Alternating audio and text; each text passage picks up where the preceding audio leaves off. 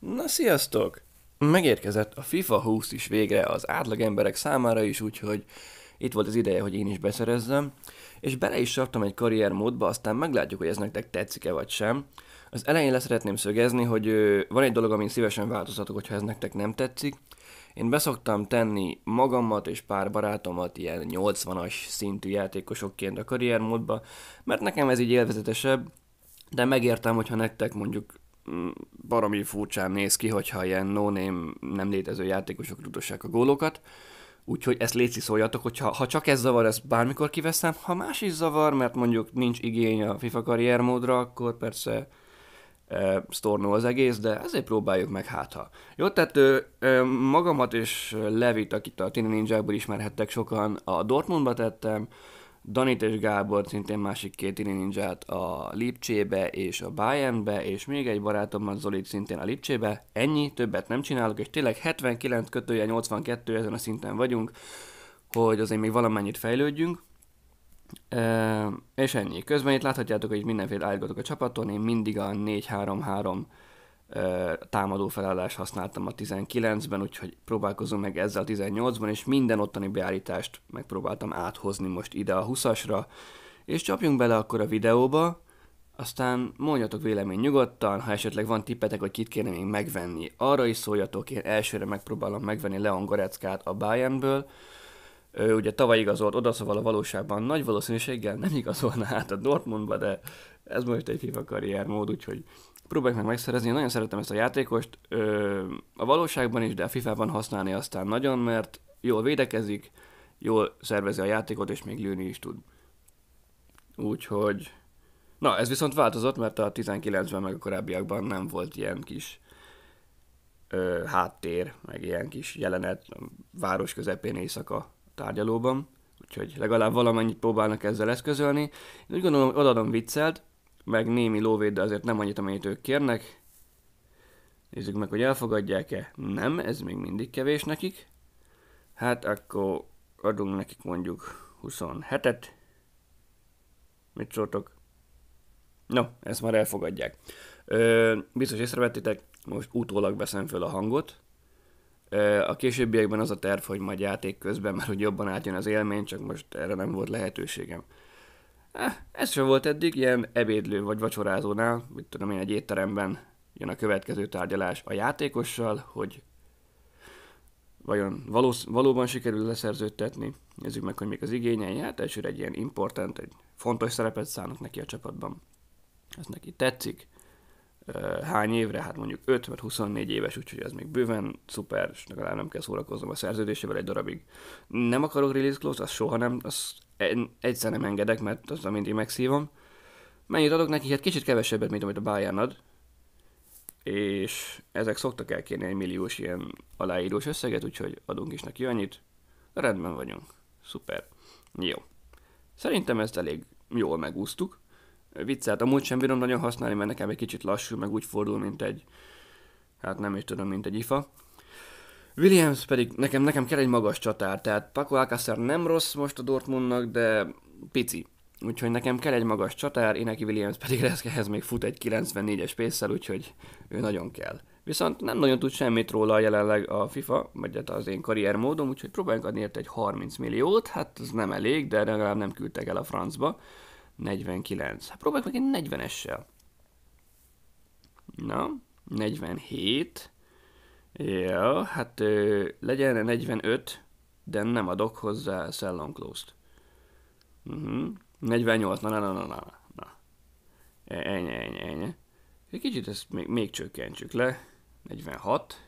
Ilyenkor szoktak kirúgni, hogy akkor, akkor vége a tárgyalásnak, de elfogadták a 46 milliót Inaki Williamsért, és nekem bőven megér ennyit a játékos, mert ő is 25 éves, még jó darabig el lesz velem. Azt hiszem 82-es szintű, úgyhogy de teljesen, teljesen rendben lesz ebben a csapatban.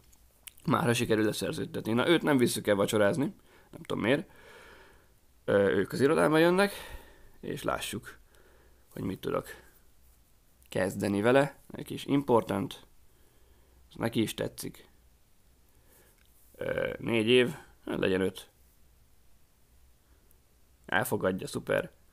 És 30 éves lesz, mire az lejár. Ők akarnak release close, de én nem. Úgyhogy nem, nem, nem, az kéne még, hogy kivásárolják itt nekem annyiért. Ö, és egyáltalán nem nagy a, nem nagy a végigény, úgyhogy bónuszbár nem kapnak, ezért kicsit többet kérnek a fizetésbe, de, de teljesen rendben vagyunk. Bónuszokat sem szeretek adogatni, mert aztán az össze-vissza kell ezzel gondolkodni. Nem, bónusz soha, release close soha, és akkor így egyszerűbb az egész.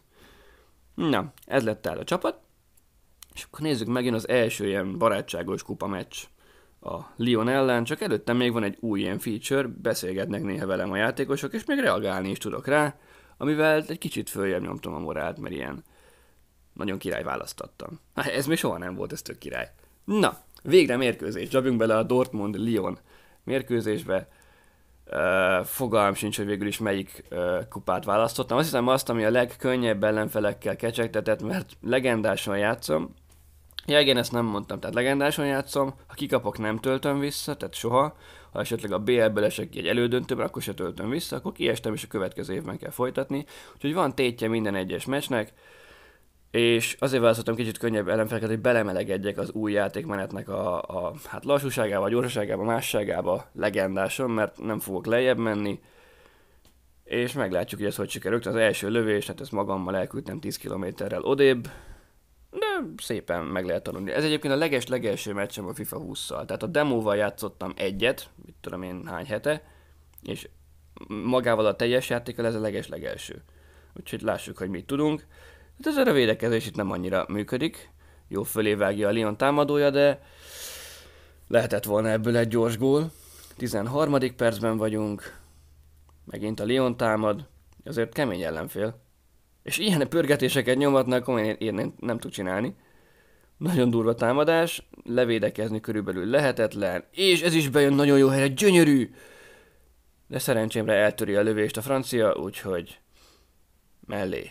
Hú, nagyon gyorsan lehetett volna egy 2-0 a Lyonnak, úgyhogy tulajdonképpen itt megúsztam elég sok mindent. Ugrunk a 23. percre. Brandtnak kell visszafejelnie. Én hozom tovább a labdát a szélen. Szerintem 82-es játékos vagyok amúgy. És Williams nem tudja elfejelni, úgyhogy kihozza a labdát a Lyon. 29. perc, nagyon szép az emelés Hakiminek. Indulhat Sancho, megy is a szélen Sancho, ő nagyon gyors, a túloldal túl teljesen üres, én ballal ráshozom és bemegy. Bemegy, ott az első gól. Volt az első gól a 30. percben, és nem is volt csúnya. Ezeket egyébként nagyon-nagyon szeretem, amikor el lehet futni az egyik szélen, és a túloldal teljesen üres, és le lehet rakni egy kapáslövésre. És ilyen gyönyörűen el lehet találni onnantól kezdve, csak néha nagyon eltöri a lövést a támadó, de ez besüvített a kapus keze mellett. Én még azt sem mondom, hogy ez olyan, tehát hogy ez, ez nem volt igazán védhető, még a valóságban sem. Ez nem egy béna kapus gól, ez egy, ez egy olyan gól, ami, ami rendesen ben volt. Ez pedig a gyönyörű menedzser, azt is meg lehet most már szerkeszteni, kicsit tápadatlan lett szegény, de hát ez van.